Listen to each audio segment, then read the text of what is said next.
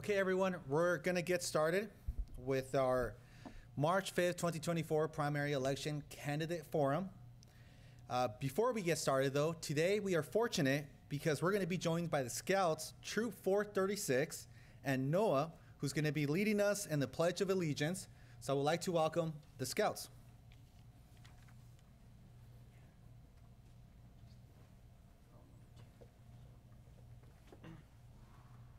Color guard attention. Audience attention. Color guard advance. Color guard halt. Color guard prepare to post the colors.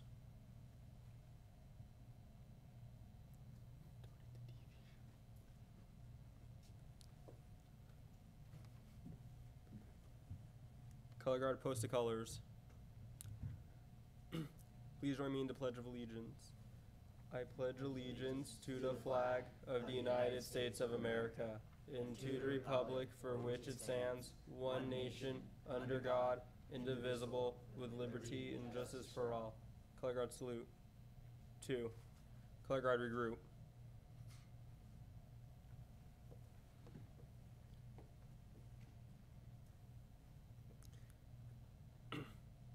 Color guard advance.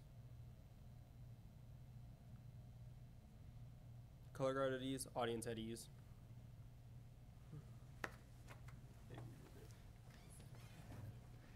Once again, I would like to thank the Scouts, Troop 436, and Noah for leading us in the Pledge of Allegiance. Can we please give them a round of applause?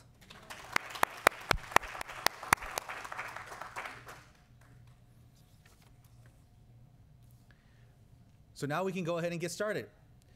Good afternoon. My name is Francisco Diaz. I'm the County Clerk Recorder Registrar of Voters for the County of San Benito. And on behalf of the Elections Department, I want to thank you for attending the March 5th, 2024 Presidential Primary Candidate Forum. The purpose of the Candidate Forum is to provide you with, with the nonpartisan space for incumbents, candidates, or members of the public to learn about the legal requirements for running for office. Whether for local, state, or federal election, this forum will provide you with the necessary steps to become a qualified candidate. This forum will cover qualifications, filing deadlines, filing fees, financial disclosures, candidate statements, and recommended best practices. The forum, however, will not provide you with fundraising best practices, guidelines on obtaining endorsements, or anything else that may be deemed political. Furthermore, in an effort to provide you with the most up to date information, the Elections Department has partnered with the Geographical Information System Department, more commonly referred to as GIS, Benito Link, Integrated Waste Management Department, known as IWM, and the Fair Political Practices Commission, the FPPC, on this candidate forum. Finally, thanks to Community Media Partnership, CMAP, this forum will be recorded and it will be made available to the public on our election website, YouTube, and other social media platforms. Please be respectful to the presenters and attendees, and do not hesitate to ask questions about the information that's being provided. If you, you would like to discuss a subject that's not on today's presentation, please schedule an appointment with the Elections Department or talk to any of our elections officials that are here today. In addition, I would like to remind you of a few housekeeping rules. We do have a restroom that's located outside. In addition, there are handouts, pens, and paper, and other uh, informational material behind this uh, for uh, behind the room. And of course, this is a public event, so it, it is completely okay to take pictures or video if you wish to do so. Now we can go ahead and get started. First, I would like to invite Ana de Castro de Maquis, our Chief Deputy County Clerk Recorder of Elections, who is the person responsible for coordinating this event, but most importantly, among her other responsibilities, she's also the manager of the Elections Department. So, Ana, can you please come forward?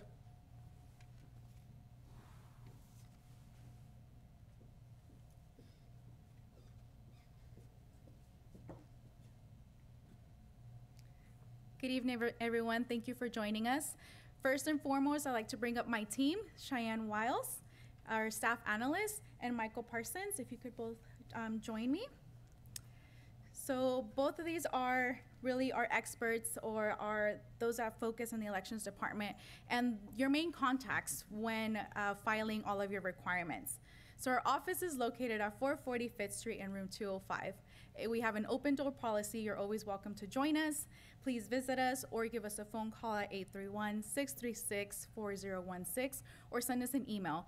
We are have open communication with everyone and we welcome questions, comments, and concerns. All right. So I was was mentioned, the offices up for this election for March 5th, 2024 are the following. We have presidential and state legislative offices, county offices, and central county central committee offices. These are the ones that are going to be up for the primary election on March 5th, 2024. And for this presentation, that is what we are covering. Okay, so when to file? Um, did we do have handouts where was everyone able to pick up this handout? If not, we can have someone bring that handout to you. Okay, we have a few. We'll give it a few seconds. So the first page does tell you the contests up for this election. And if you switch to the back of this page, you have our summary filing calendar for candidates. So this is really your main resource as to when things will be due for candidates. So you can see all of the documents that are, are going to be due and when it applies and to what candidate it applies and the filing period it applies to. Some of these can be done at the convenience of your home without having to come to our office, but most of these you will have to come into our office and see one of us. Okay, and we will be covering the majority of these documents throughout this presentation. Okay. The very first thing on here is the online candidate pre-registration. The online candidate pre-registration is for candidates that would like to receive their nomination paperwork, except for the declaration of candidacy, via email or U.S. Uh, postal mail. We're open to sending that to you in advance so that you're able to complete it without any rush at the convenience of your home. And this paperwork will take about 20 to 30 minutes to complete. And really, it's um, making sure that you have plenty of time. But at the end of the day, um, before you declare your uh, do the declaration of candidacy, you will need to come in and see us because all documents, all paperwork by the candidate must be completed, signed, and returned with original wet signatures to our office. And this is available from beginning September 1st to December 8th. Okay, and do I have any questions so far? Okay. All right. And then now I'll hand it over to Michael Parsons. So let me start by saying the next few slides are in chronological order. So as things come available, uh, and not all apply to all offices. So I'll try to hit that and tell you. First thing is signatures in lieu of filing fee. All offices on the March uh, uh, ballot, except for county central committees, have a filing fee. It, it, it, there's a mathematical formula. It's on this page. It's on the third page of this handout. This is estimated and will be updated on October 23rd once we have a final count of registration uh, to, to, to help do the math. Signatures in lieu of filing fee are a way of one, gathering your nomination signatures ahead of time. You have a minimum of 20 signatures, a little more if you're running for Congress. Um, but then, more importantly, is a way of offsetting the filing fee cost. Uh, there's a value assigned to every signature, so for every valid signature, you deduct that much, and you won't. You'll be you'll be allowed to pay less for the filing fee. That opens in September 14th, and it goes until November 8th. Oops, sorry. The next event on October 30th is for judicial candidates only. judicial candidates must file in our office a declaration of intention. It's a simple form, but it is a requirement. The difference here with every other candidate is you must pay your filing fee at that time. The deadline for this is also the deadline for the signatures in lieu. So get them in and we can calculate your filing fee hopefully for you by that date. So you, the judicial candidates must be a little ahead of time and be done and, and, and basically make themselves known. If you're running for central committee, there are no, there is no filing fee, but there is nomination signature requirements. You must have between 20 and 40 valid signatures from members of your party and from the supervisorial district for which you are running. You must come to our office, you must file the declaration of candidacy. At that point, we will give you a nomination petition. At that point, you go out and get your signatures, and you have until December 8th to return and finish that process.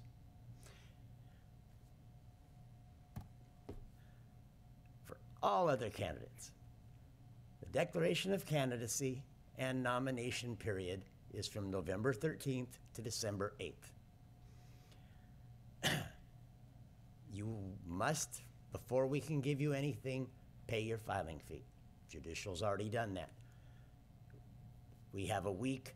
We will have your signatures in lieu calculated. We will know what your filing fee is, and we will, a- and we will ask you to pay that.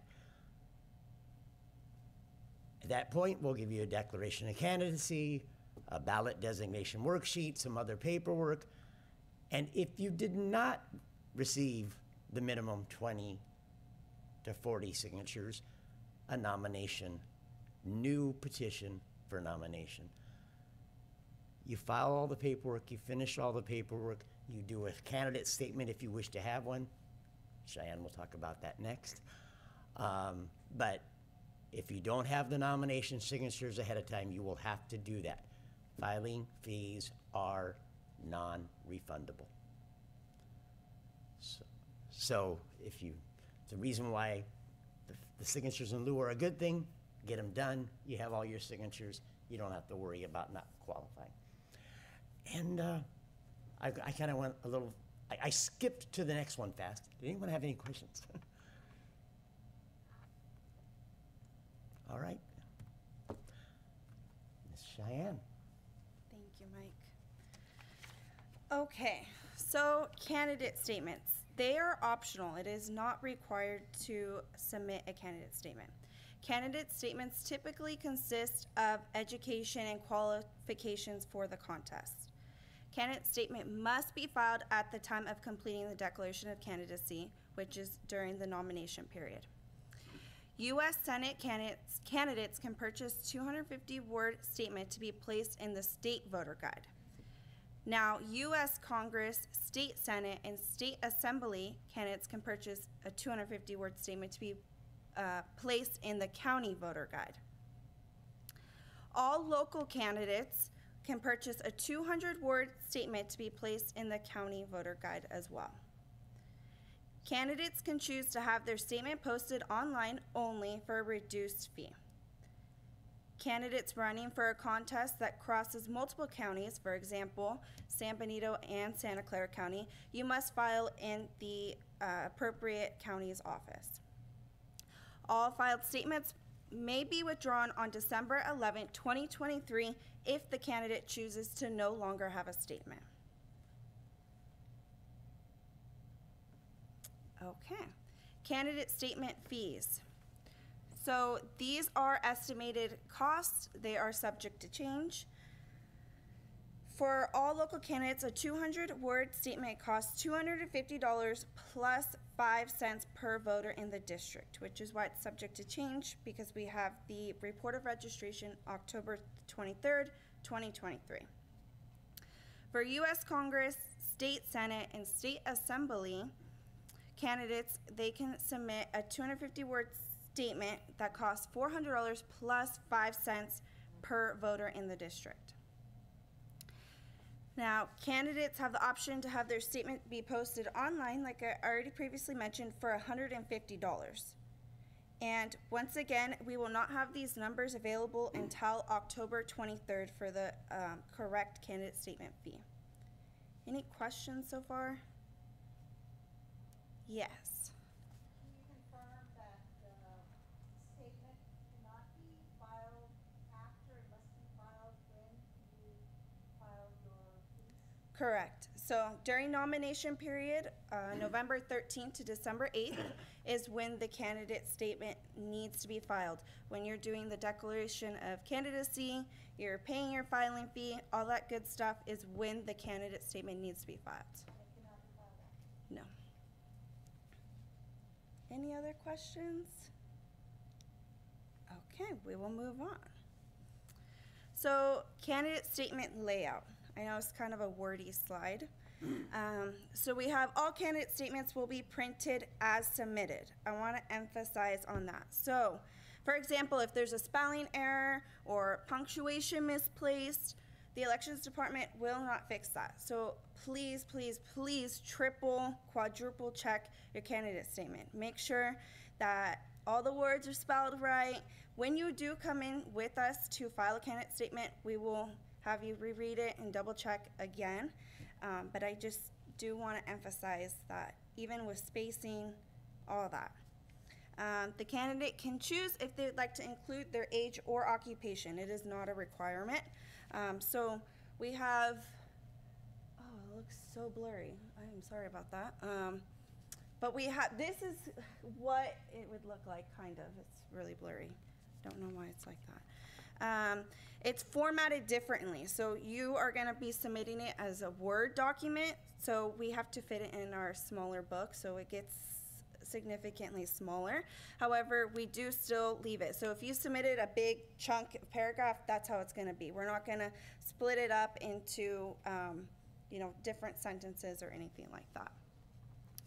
Um, back to the occupation field. So um, it is optional. Um, the occupation field does not have to match the ballot designation, which is what is below the candidate's name on the ballot.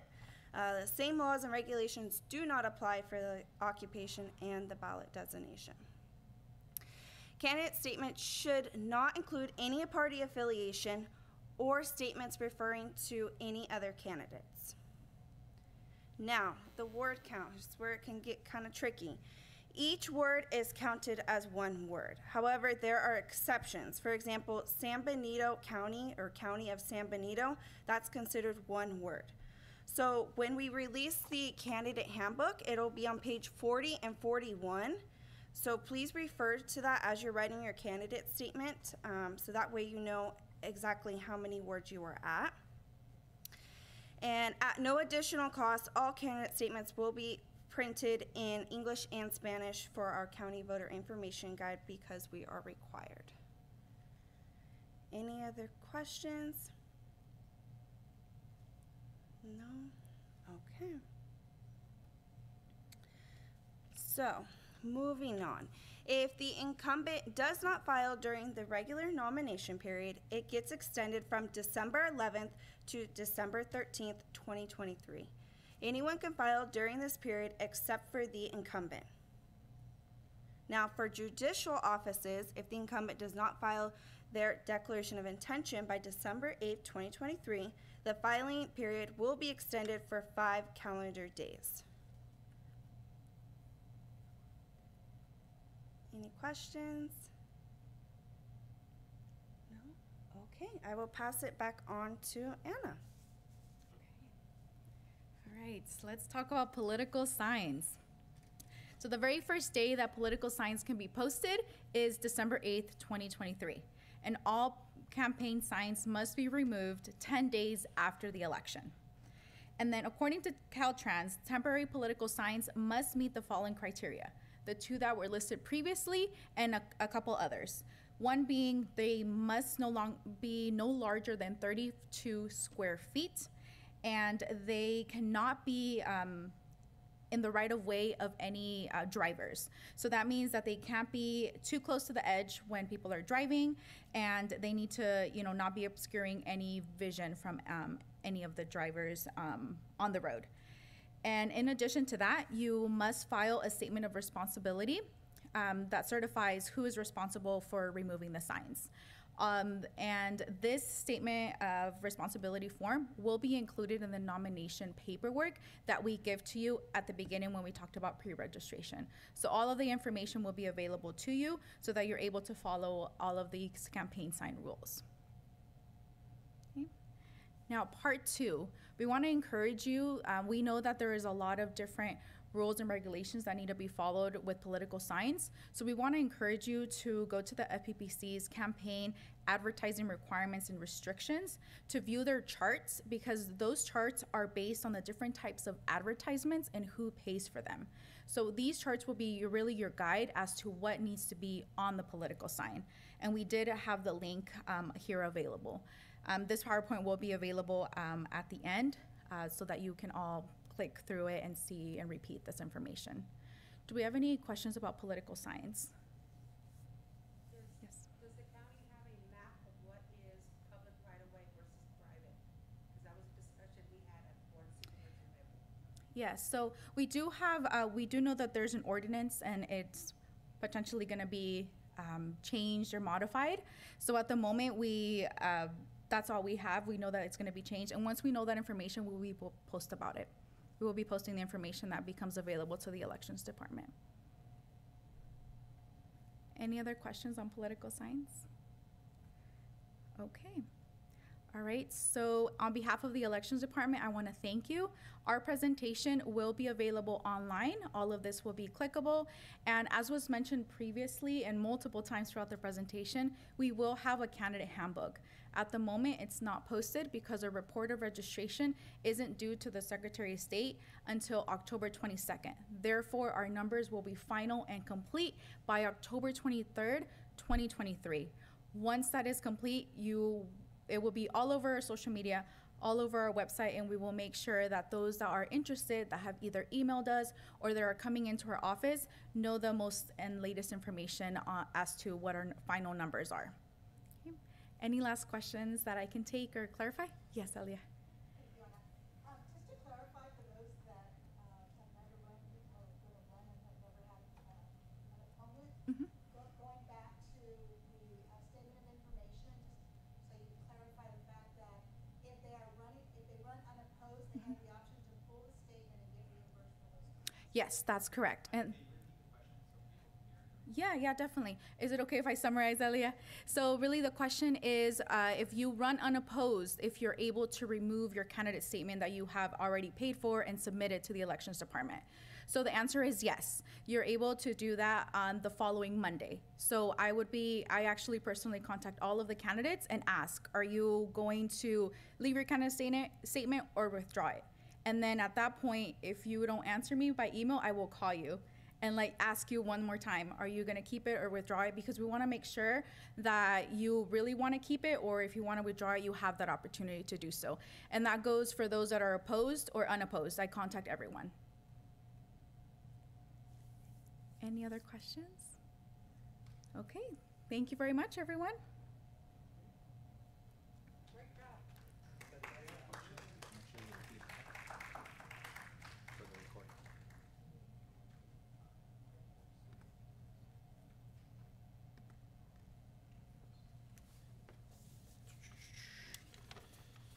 Uh, where we at?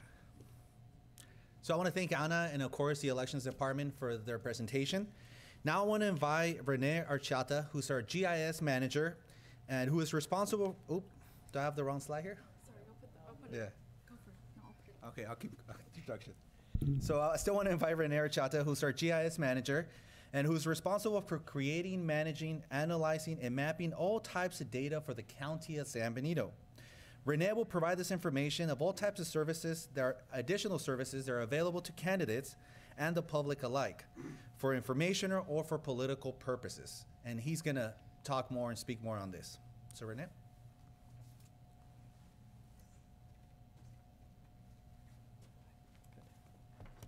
Good evening, everyone. Um, yeah, as Francisco said, I'm Rene Anchieta. Um, I do GIS for the county. Um, and so let's, let's get started here. I just, it's, it's gonna be a brief, uh, presentation. Um, this is kind of a new format that I kind of did with this. And, uh, first question I get every, all the time is what is GIS? Um, uh, this definition, it, you know, it varies, but I, I kind of got this from, um, from a website. It's, uh, it's basically a system that creates, manages, analyzes maps and, and all types of data.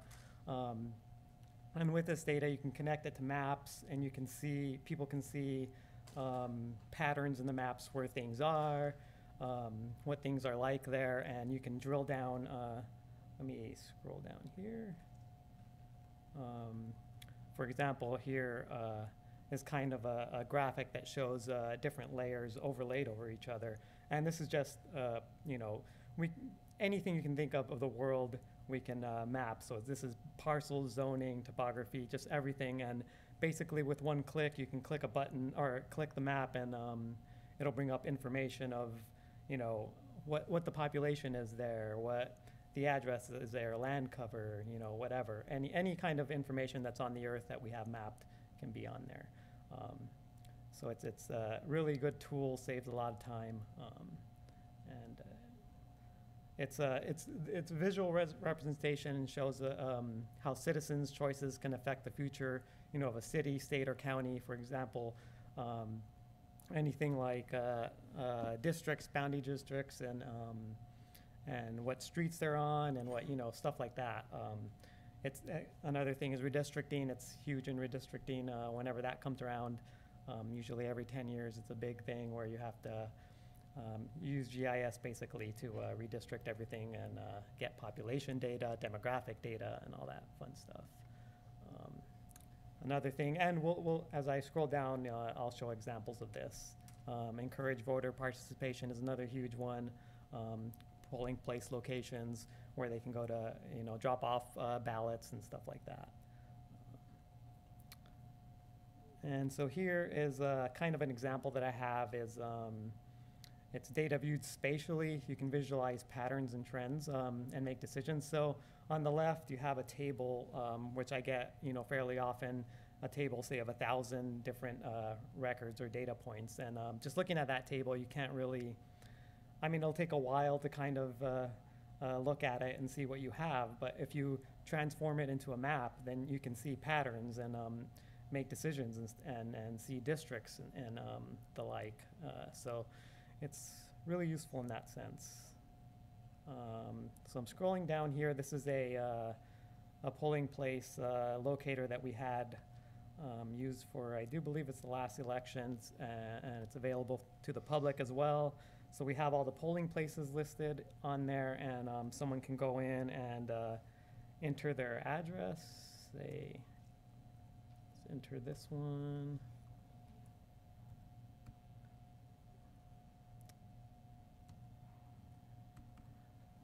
Uh, enter their address and then just click and it zooms in and um, we have a radius set of uh, uh, five miles. So within that five miles, it lists uh, voting centers and it gives you uh, the distance to voting centers, drop box, and uh, a voter can come in and click and it'll show you where where um, the uh, the polling places are and um, they can click on here and get that get information on various polling places and stuff like that. For example, hours and um, when they're open and, and all that stuff. So it's kind of a neat tool for uh, the public to use. And um, let's see here. Oh, I'm sorry. Um, I know that previously the website said that for districts one, two, and five, uh, that it was using the twenty ten map. Uh, has the website, has, has the GIS for Find My Supervisor District, has that been updated to reflect the new redistricting? Or at what point is the county website going to be updated to reflect the, uh, new districts? Right.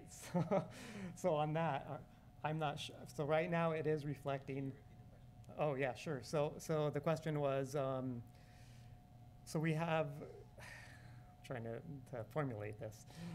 I don't know if you want to help me on this, Mike, because I don't know that much about the. Uh, In 2021, we redrew the district lines based on the 2020 census.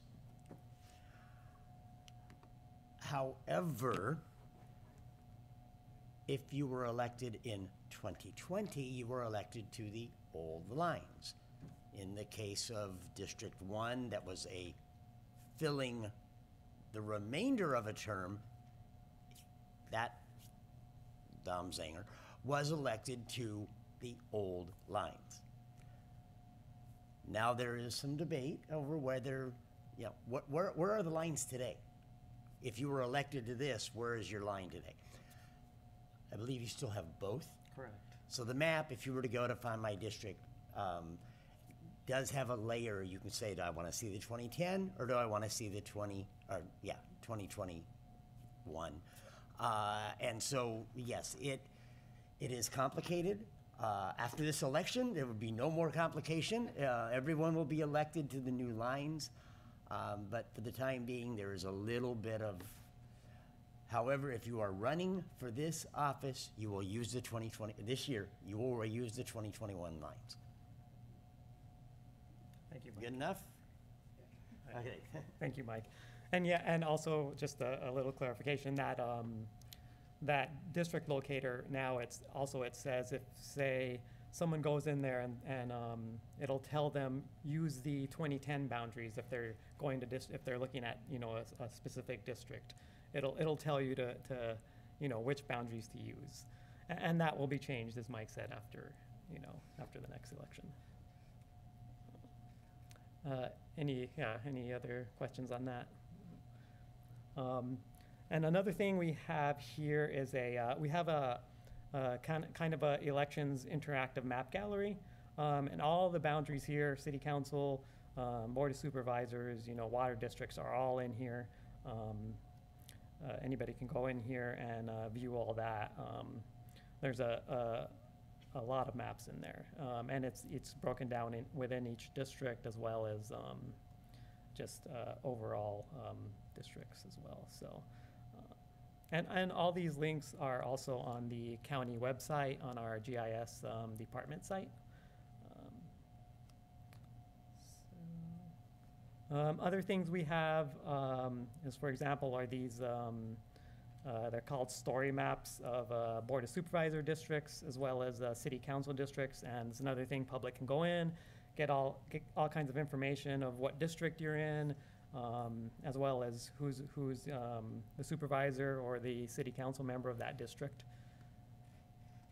As well as um, for candidates, we can also get addresses within those districts. Um,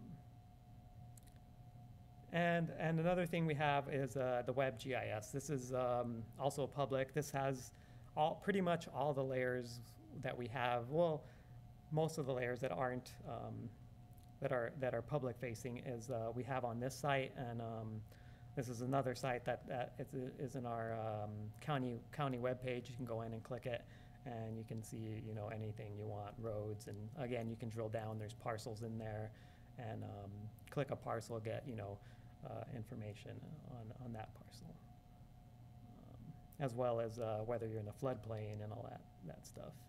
Um, And end, uh, this is, this is just, and uh, these are just uh, links to our uh, um, county website, our, our San Benito County ArcGIS online site, which has tons of maps, um, emergency maps, uh, anything you can think of, we have all that stuff in there. There's a lot of them. And again, the web GIS. And uh, that's all I have. Any questions? Great. Thanks.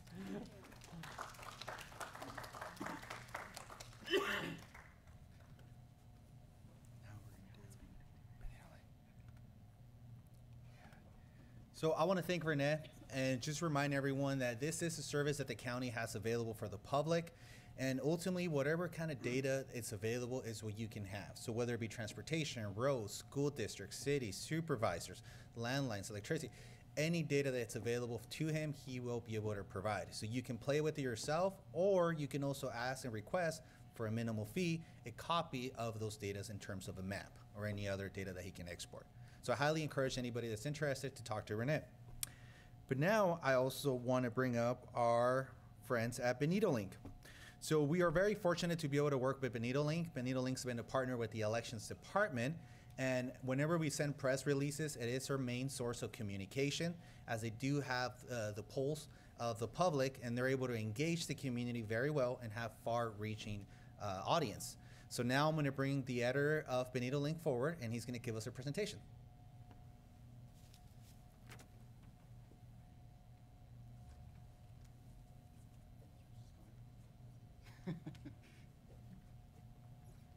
Hi everyone. Uh, I'm the co-editor of Benito Link. I'll just give a brief summary of what Benito Link is, how it came about, and just some um, policies that we've put in place in regards to the elections process. Yes, Elia. Noe Magaña. So Benito Link was created out of need. So in 2012, the Community Foundation held a listening session of almost a thousand people um, and among the, the, they were trying to figure out what the community thought they needed. Um, some of the stuff that came up was parks, and among that was local news. Um, so Benito Link thing was created um, through some grants and became ooh, nonprofit, I think, in 2015. Right now, Benito Link reaches on average about 60,000 unique readers a month we rely on community support, grants, and sponsorships. As a nonprofit, we do not accept donations from anonymous sources, government agencies, political parties, elected or elected officials or candidates. And Benito Link does not endorse any candidates or measures. Benito Link's election coverage, and so the commonly do a what we call a Q&A article and where we put all the candidates into an article and we ask them the same questions. I, um, it serves sort of as an introduction to the community in case they don't know who they are. Following that, we also do a candidate forum where we invite candidates to come to a forum. The last forum we had was at the Granada Theater. It was about 200 attendees where we had uh, candidates for Congress, candidates for Assembly, and candidates for the County of San Benito, City Council, San Juan Bautista. In the past, we've also done candidates uh, for the Healthcare District and uh, water districts as well. We've covered before. In non-election years, we do a town hall. It didn't happen. Actually, we're planning one for this year a town hall where we invite newly elected officials to sort of report back to the community. And now we go sort of to the policies we've set in place. We allow two submissions to Benito Link from a candidate a month. The types of submissions that have been submitted before are platforms, endorsements, or to announce a candidacy. Submissions made by others, maybe not necessarily on behalf of the candidate, but endorsing a candidate, we will count as one for the candidate. So we would suggest the candidate to um, really be engaged and maybe um, communicate well with people or groups that um, they know are going to support them unpermitted submissions, anything that's really self-advertising or promotional in nature. Uh, if we receive those, I review them. I may contact the candidate or whoever submitted it and ask questions and um, suggest some, if if it needs only minor um, notes or changes, uh, we might suggest those. Otherwise, we will not publish it. And the why is because we, we believe that part, uh, in general, these uh, community opinions columns, public letters in Benito Link are a public service, so we wanted to remain um, content worthy or, or, or that is, um, what's the word I'm trying to think of? Um, a positive for the community to keep the dialogue uh, moving forward. And that's it. If I, you guys have any questions for me? Great, thank you.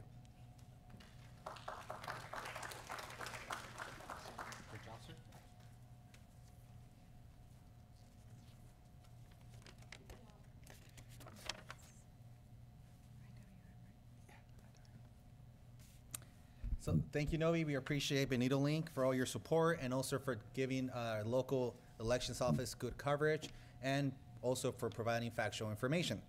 Now I'm going to invite Sofia Abonce. She's actually our elections associate, but she's going to be presenting on behalf of Integrated Waste Management, who unfortunately cannot be here. But before she begins, I want to express my gratitude for Integrated Waste Management for working with the elections office in its effort to become green certified, but in addition for helping our office implement sustainable practices that will help lower our carbon footprint. Now, she's going to be presenting a presentation that's going to talk about how these two different departments and disciplines intertwine.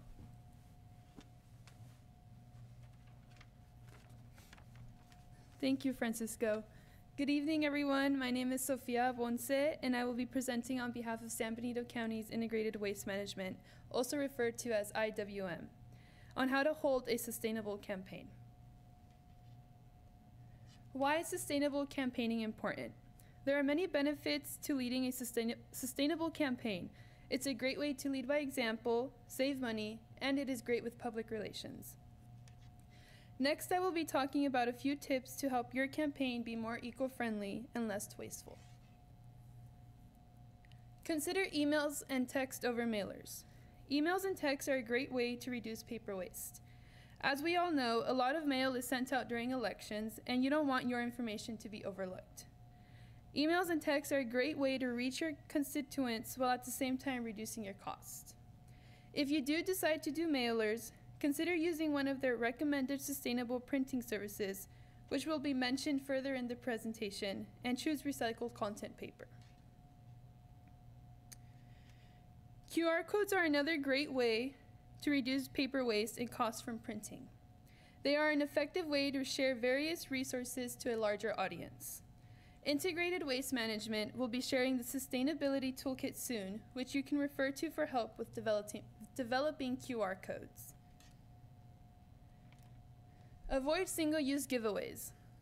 If possible, try and opt for more sustainable and reusable options for giveaways.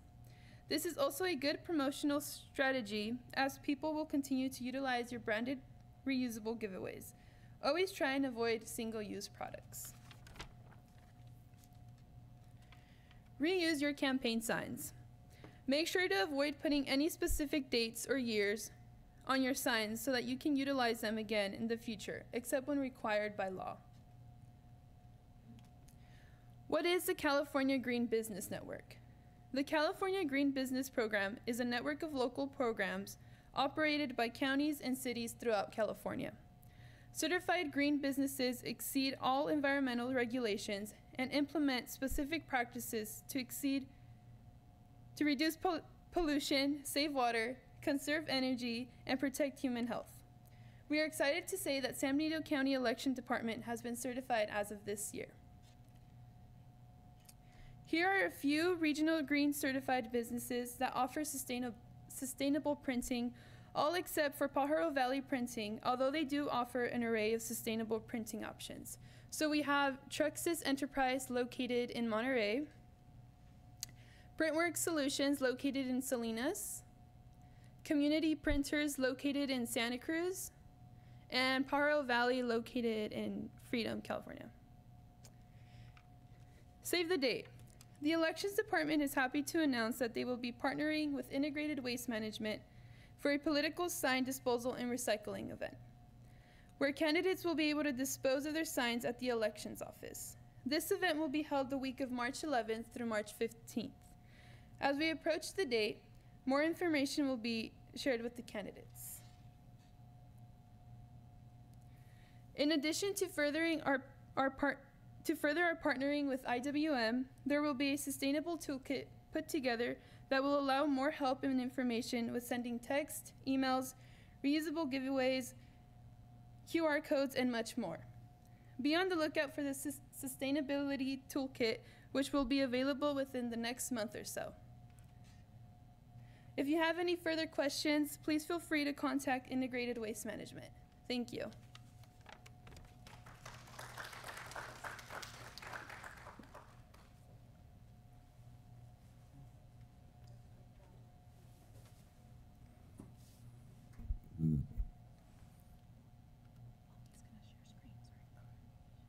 So thank you, Sophia. Now I want to invite Stephen Hernandez from the Political Reform Consultant uh, at PPC, who's a political reform consultant, and he will be providing a presentation on how to get started as a candidate or treasurer in compliance with the Fair Political Practice Commission regulations and laws. Now, Mr. Hernandez, can you hear me? I can hear you. Can you hear me? Yes, we can. Now, Uh, I'm going to share my screen. Welcome, everyone. Thanks for having me. There's a little delay, but see if I can share my screen here.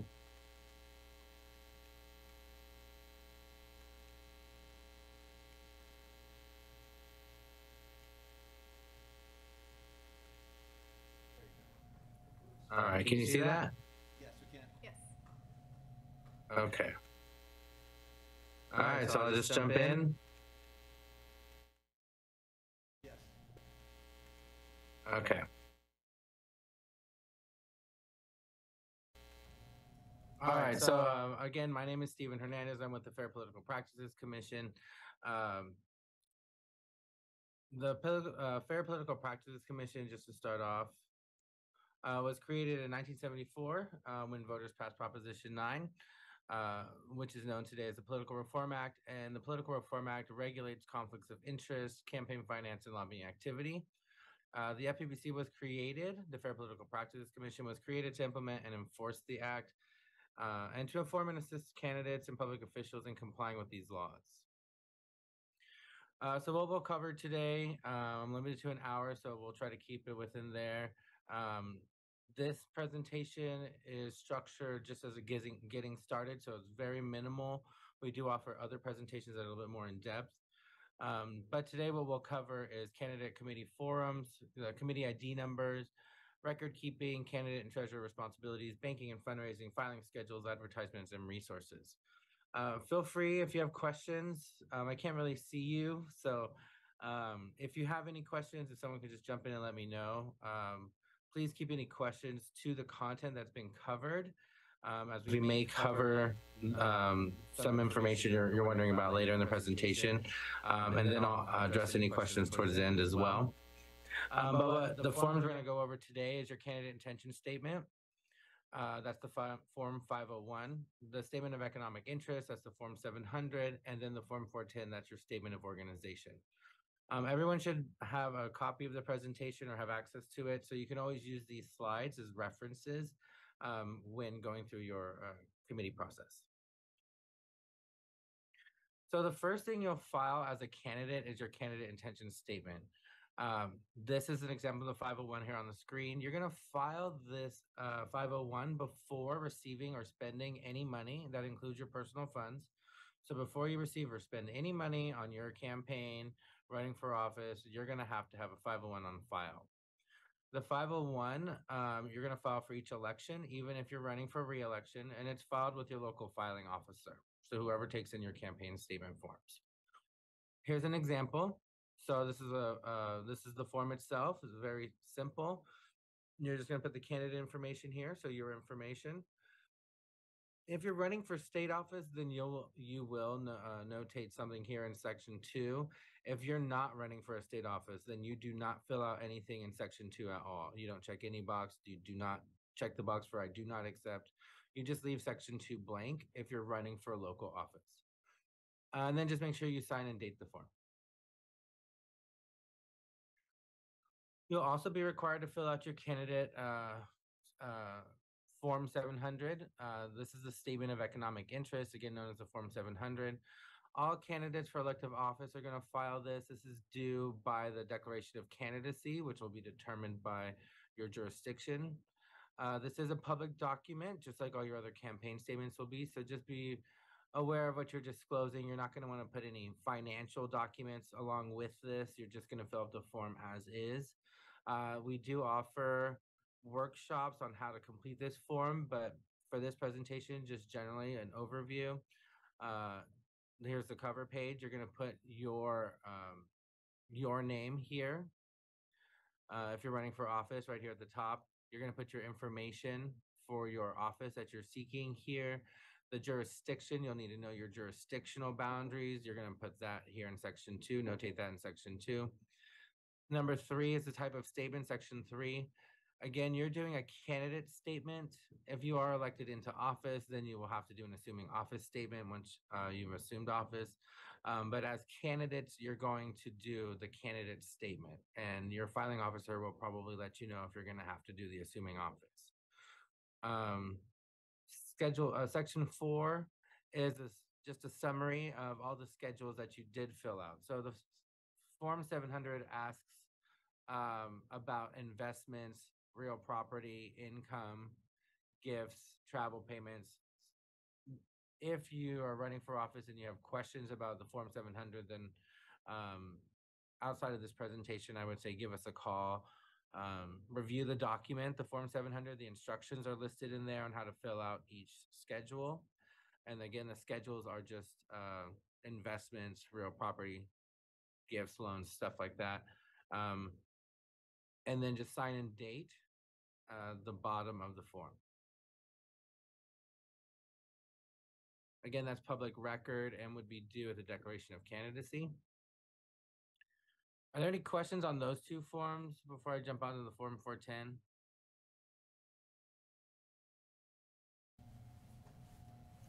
Okay, I can't hear uh, any questions, so. No questions. No questions, okay. So Form 410, um, this is the form that you're gonna fill out to get your committee ID number, also known as the FPPC number. Uh, the Form 410, when you first fill this out, you're gonna check the box for initial, and if you have not met a $2,000 threshold, either spending or raising $2,000, you're gonna check the box for not yet qualified. Most people who are starting out their campaign have not raised or spent two thousand dollars, so we'll check the initial box and check not yet qualified. You do become qualified once you've raised or spent two thousand dollars from your campaign account. At that point, you will file an amendment. So you'll file a new Form four ten with the amendment, uh, an amendment listing the day you hit that threshold, that two thousand dollar threshold. Okay, that's jumping ahead a little bit. But for now, what you're gonna do is running for office and you wanna get your committee ID number. You're gonna check the box for initial and check the box for not yet qualified. In section one, you're gonna complete your committee information. The committee name has specific requirements, so you need to thoroughly read the instructions for the naming requirements for your type of committee. If you have any questions on that, you can call or email the FPPC and we can uh, work you through it. But basically, the minimum requirement for the naming of your committee has to be uh, your last name has to be included, the office you are seeking, and the year of election.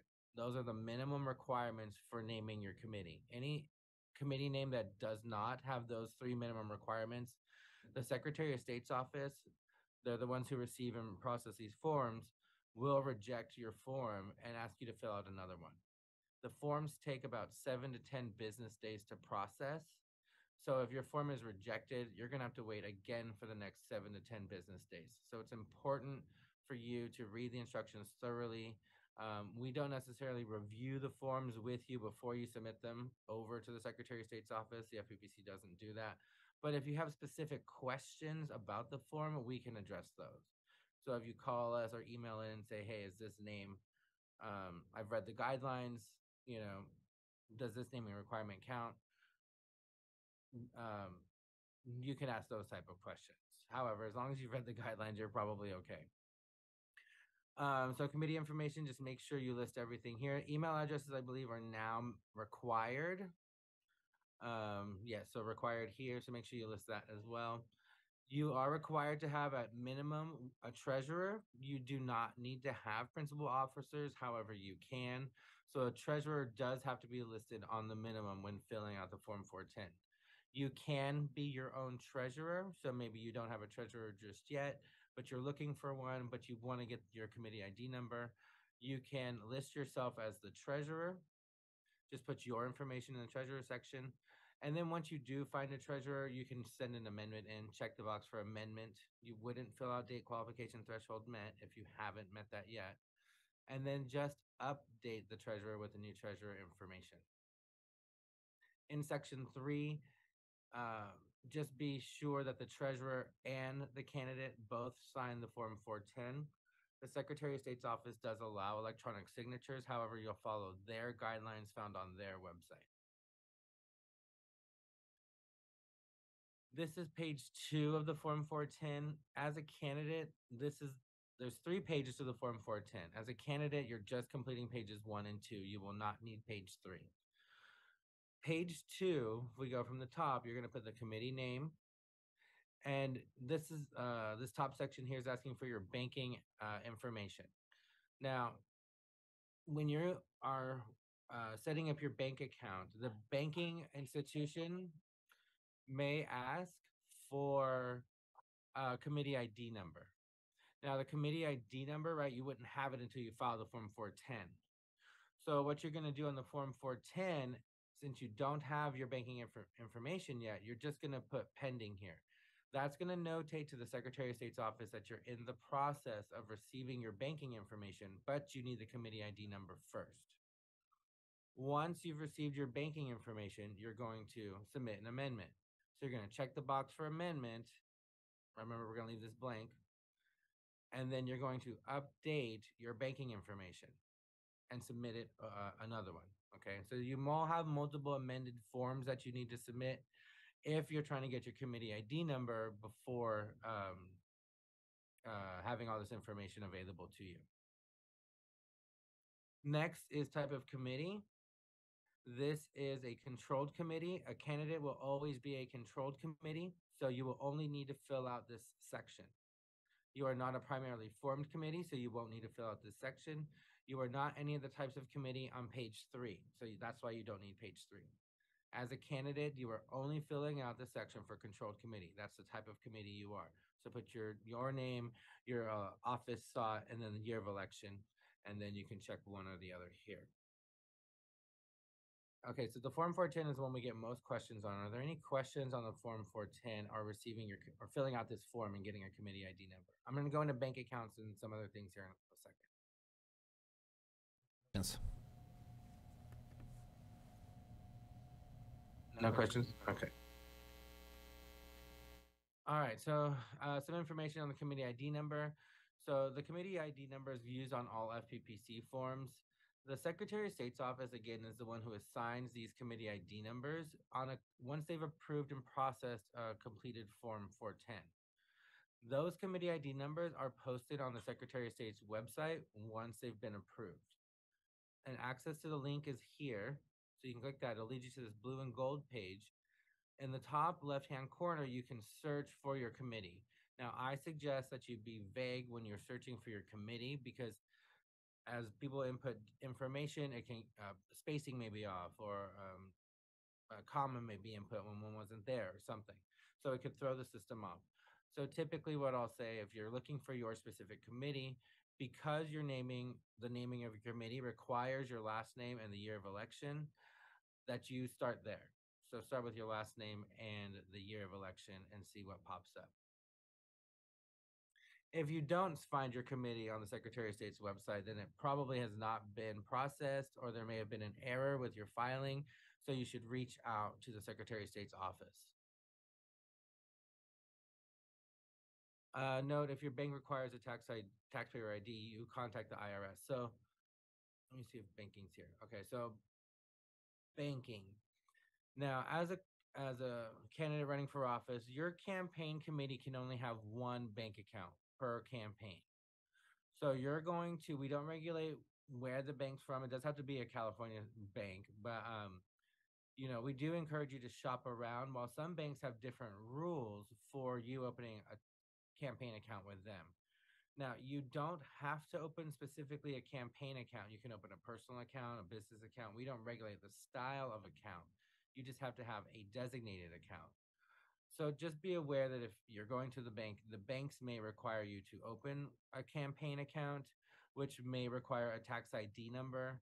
For that tax ID number, you will contact the IRS. You may want to open a personal account. Sometimes I'll offer these suggestions to smaller communities. Um, just be aware if you do open a personal account, uh, that people that are writing check donations to you may not want to write it to a personal account, may want something more official. Um, so I think that may work in smaller communities, but just know your your communities before setting up your account. It may help in the long run. There are no commingling of funds, so all campaign expenses need to go in and out. Uh, expenditures need to go in and out of your campaign account. All donations go in and out of that campaign account. Um, no personal funds can be used from that bank account. You can put personal funds into your campaign account. That is okay. Keep note as if uh, if you're loaning those funds to your campaign or if you're donating those funds to your campaign. Um, and you'll notate those on the Form 460. Uh, again, candidates must make all campaign expenditures from the account, and any monetary contributions received from others um, must be put into that designated campaign account. Campaign accounts continued. The committee uh, may not accept any cash contributions of $100 or more, so um, those would need to be done via check or electronic. Um, there are no anonymous contributions of $100 or more. You can that's prohibited. So no cash, no anonymous contributions. I'm sorry, um, of $100 or more. If a committee does receive a cash contribution of $100 or more from an unknown source, then that must be sent to the Secretary of State for deposit into the general fund. Uh, similarly, uh, contributions of $100 or more made by money order, cashier's checks, or traveler's checks are prohibited and must be sent over to Secretary of State's office. Out of pocket expenses. So candidates again may not make out of pocket expenses. You can't use your own funds.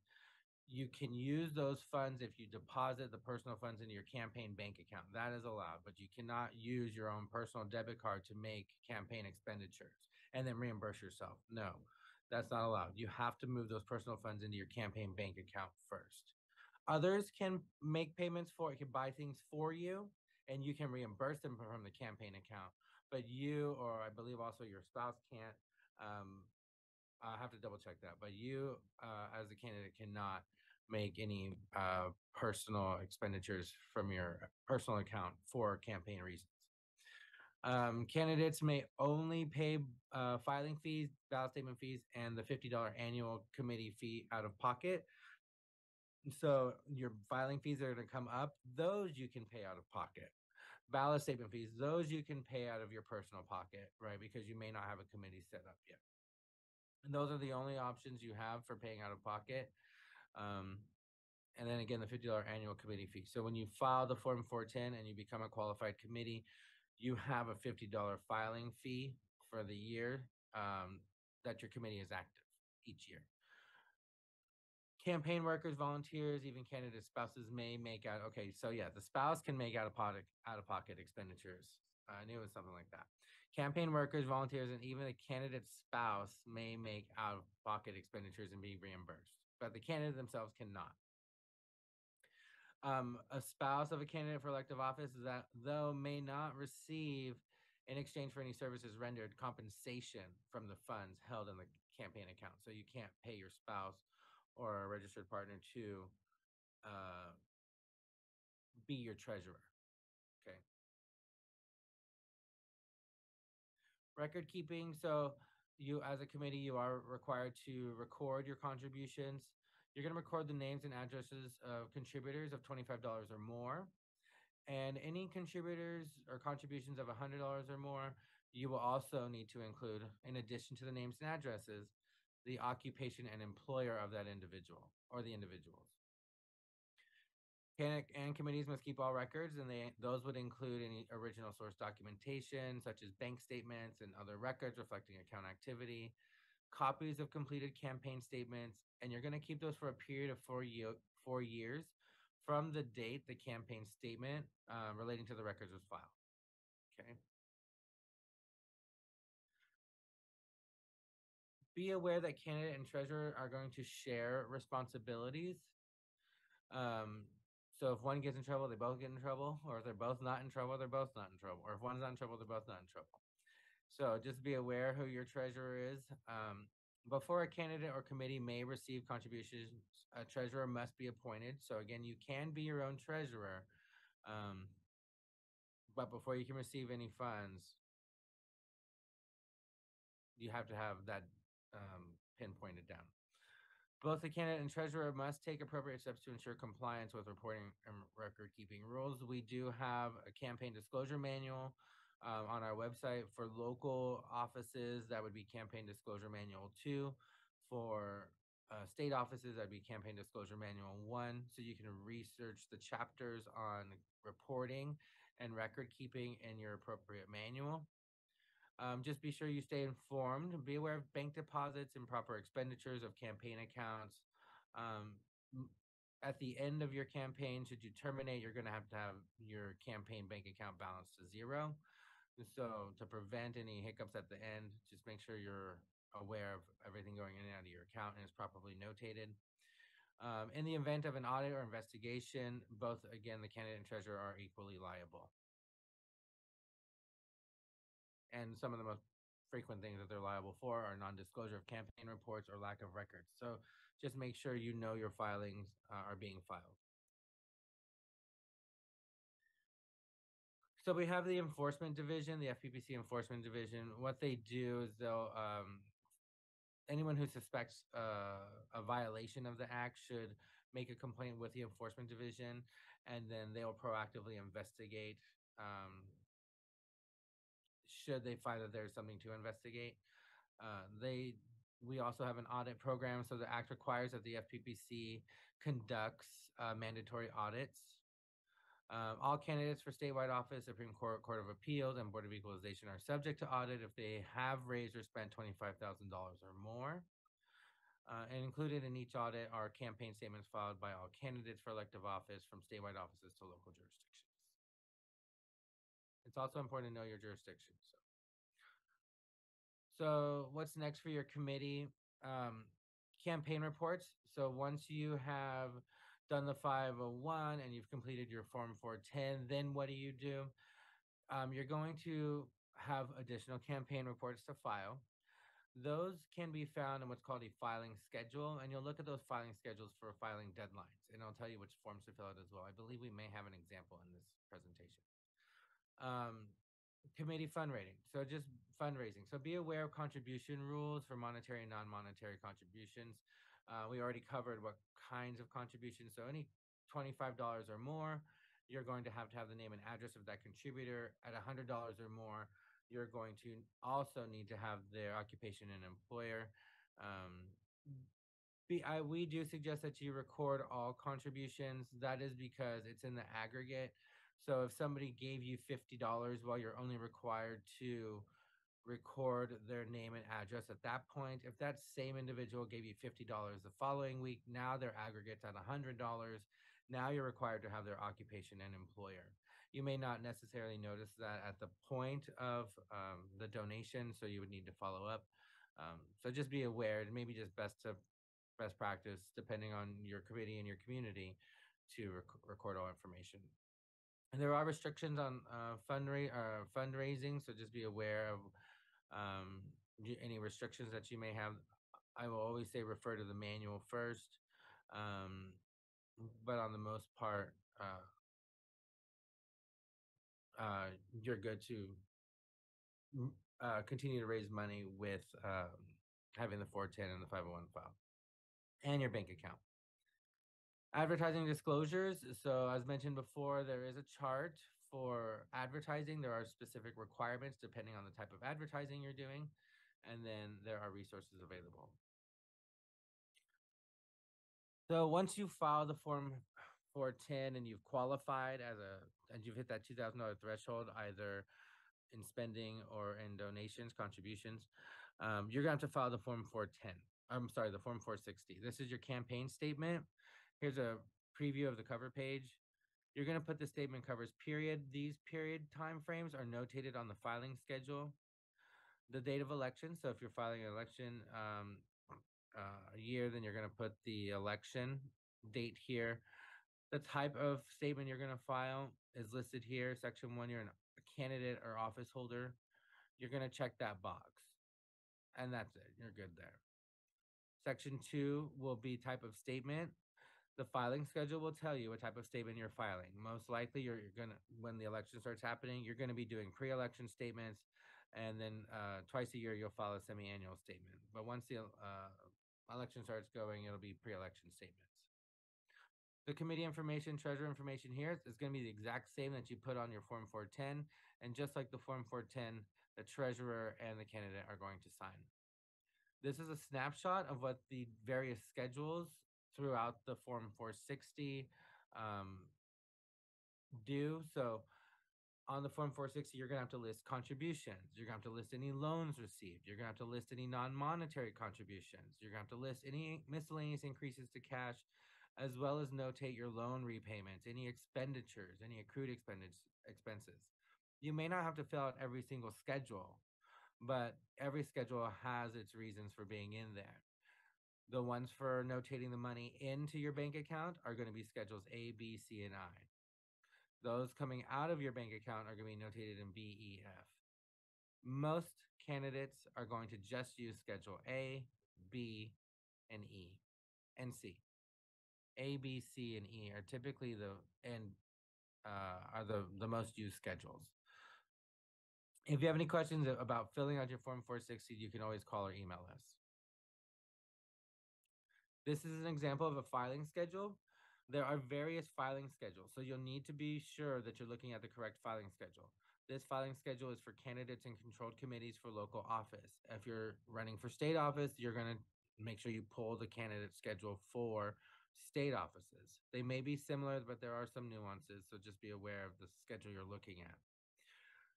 This schedule shows this is for the November 7th, 2023 election, if there was one or someone having one. Then their semi annual, right, would be due on July 31st.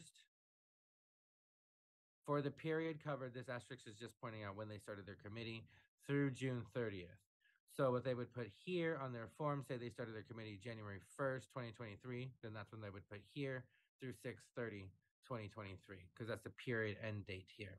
You do the same thing for pre-election. So it's due on the 28th, but you're reporting between the uh, time frame of January, July 1 through 923. So uh, July 1 through 923, was that what the date? Yeah, would be listed here type of statement. This is a pre-election statement, right? Because it says pre-election right here, or it says semi-annual. Okay, so this this schedule is going to tell you, and then it's going to tell you what form you're going to fill out. Okay, so you refer to this for your deadlines and your time periods and which forms you need to complete. Campaign contributions. So there are monetary and non-monetary contributions.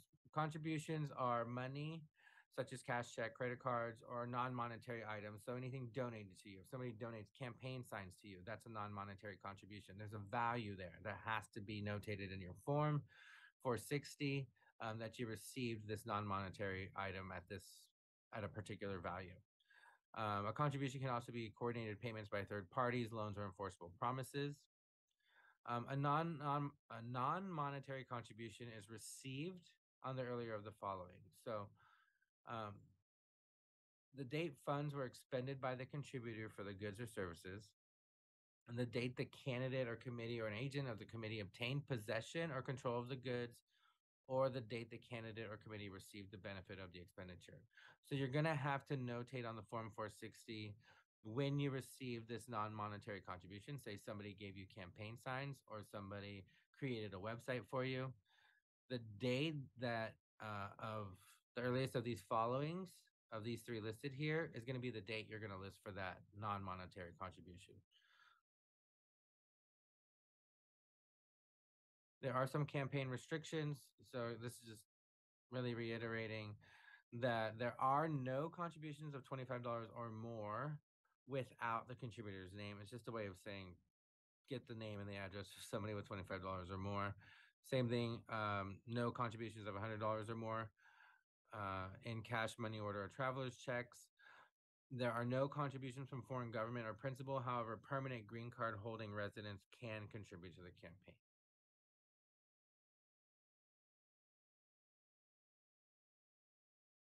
Okay, contribution rules. So receiving electronic contributions. So this is more common now. Um, you can receive contributions via credit card, wire transfer, debit account transaction, or more commonly used now ActBlue PayPal or Venmo or such text messages. The fees associated with these type of fundraisings um, or that are deducted by the various vendors that you're using, uh, you're going to not deduct them from the contribution from the person. So if an individual gives you a hundred dollars, but ActBlue charges you five dollars, you're not going to notate on the form that you received ninety-five dollars from the from the contributor. You're still going to notate that you received a hundred dollars from that contributor, and that's going to be in Schedule A of the Form 460. That's your monetary contribution. You received hundred dollars monetary contribution from them, but you as a c- committee had to pay that five dollar fee. You're going to notate that five dollar fee in Schedule E for expenditures. Okay, so when you receive these contributions electronically, just make sure that you're notating the full value of the contribution from the contributor in the Form 460, and then you'll notate the fees in a sec- uh, separate section on the Form 460. Committee fundraising, so you can't have home and office fundraisers. There's an exception. Um, the home and office fundraiser only becomes reportable at a $500 threshold all items donated to the event, not just occupation, I'm sorry, not just occupant or host contribution.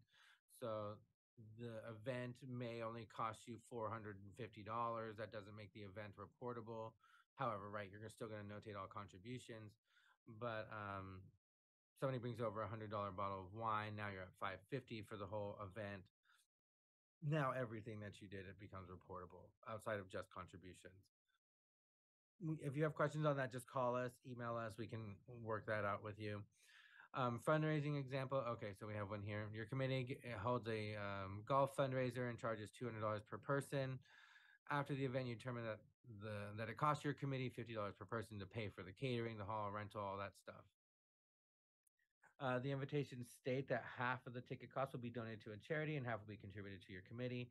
So on Schedule A of the Form 460, you're going to notate the $100 contribution from each ticket purchaser, as well as their name, address, occupation, employer, but you're not going to subtract the per person cost from each ticket sold. So the expenses, those expenses similar to the um, credit cards are going to be reported on Schedule E as an expenditure. So again, that's a lot for this presentation. Um, if you have questions about fundraising events, um, you can always call or email us. Uh, and you also should have the presentation for reference. So just quickly on the advertising disclosures, this is an example of the chart that was mentioned earlier. This is a snapshot of the one for communication. This is uh, advertising disclosure chart one. Um, there are various uh, disclosure charts. So you're going to want to make sure you're looking at the one for your particular committee this is for communications by candidate committees for their own election. So make sure you're looking at chart number one. And this will tell you this type of the communication style. So the example we're looking at here is all mass mailings. It'll give a brief description and then tell you what the manner of disclosure is. So for example, here, all mass mailings need to have a six, no less than six point uh, type uh, and, and be in a contrasting printer color. So those types of things will need to be followed if you're following these types of communication or sending out these types of communication. Uh, misconception, I think people hear all the time, unless your local or uh, unless your local jurisdiction has ordinance, but campaign signs are not required to have your committee ID number on them. However, it is recommended, but it is not legally required. So I like sustainability. So if you don't put your committee ID number on the campaign signs, you could reuse them. Um, however, depending on jurisdictions, you may have to open and close multiple committees depending if your jurisdiction has local campaign contribution limits. Um, and if that's the case, then you have and you have to get a new committee every time you run for office. You could be burning through signs every election cycle because you could put a committee ID number on there and uh, you may have to get a new committee ID number every election cycle. So it may be beneficial to you to not have the committee ID number on there. If you're for sustainability, it would help. Um, but just be aware, you do you. Um, but just know that the committee ID numbers are not required to be on the on the campaign on the yard signs, but they are recommended. You can find these advertising disclosure charts on our website. Um, just by going to Learn tab, campaign rules, and then looking for campaign advertising requirements and restrictions. And I know there's a link in the previous presentation as well. This is our website. So here's a link to our website. Uh, here's Learn up here, and then you would go to Campaign Rules. Campaign Rules brings you to this page where we have all this information here. You can find your filing schedules under this section here, when and where to file campaign statements. If you're running for state office, you can look at contribution limits and voluntary expenditure ceilings. The forms are listed here. The disclosure manuals are listed here. So again, as a local candidate, you're going to look for campaign disclosure manual two, state candidates campaign disclosure manual one. All the various advertising disclosure charts are here. As a candidate, you will be chart one. Just be aware um, that the charts are a summary of what's in the manuals. The manuals are more in depth. Um, so you can use both as tools. We have the candidate toolkit, which is brings you, um, which is more information about starting out as a candidate. Um, any local ordinances, um, and then treasurers. So for treasurers that are just starting out, there are some basic rules there for you, what your responsibilities are. Um, and I believe we may have sent out a treasurer guidebook um, for this presentation as well.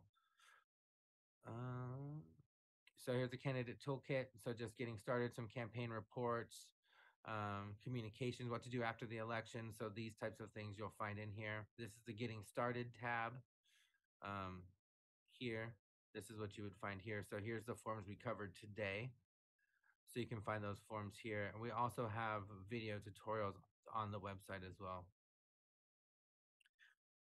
All right, so that's it from my uh, my half here. Um, our home home page is here.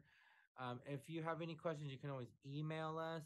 Uh, my preference is that you do some research first, and if there's some guidance you need on any of the information you've read, then reference that in an email, and we can clarify something there for you. Um, you can always call as well. We have open phone lines Monday through Thursday from 9 a.m. to 11:30 a.m. Um, to assist, and we do provide uh, extended phone hours during campaign deadline um, for like for the week prior or the week of. So we'll, we are there to assist you if you have any questions. Just be aware that the filing officers are just there to receive your forms and any detailed questions. I mean, they can help you with their jurisdictions and, you know, they do more than just receive forms, but they, um, any detailed questions about filling out the form should be directed to the FPPC. Um, so we can make sure you stay in compliance with our laws. Um, and then uh, any questions, or if we want to wait to the end, I'm open for either. Go ahead. Do, do you want to come? Uh, okay.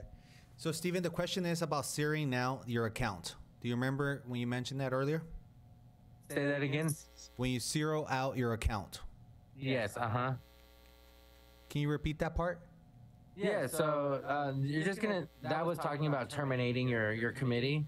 So at the point of say the campaign's all done and over with, you're not gonna rerun. You're you don't need your open committee, and you don't need the committee anymore. One of the requirements for terminating your committee is that you zero out your campaign bank account. So uh, uh, what we find sometimes is that people, after having their committee open for X amount of years, at the end say, "I can't balance my my form. I can't get my stuff to balance." Well, we don't review the forms for you. You're gonna have to go in and find the error. So best practice is just to make sure that you're staying consistent and up to date with your your campaign bank accounts ins and outs. Um, but, when I was mentioning zeroing out, it was just when you're terminating your committee. By zeroing out, meaning there has to be no balance left, correct? Correct. Yes. No money left in the account. So zero balance on your in your campaign bank account. Do we have any other questions from the audience? All right, Stephen, it looks like we do not have any more questions. So thank you for providing this presentation. Yeah.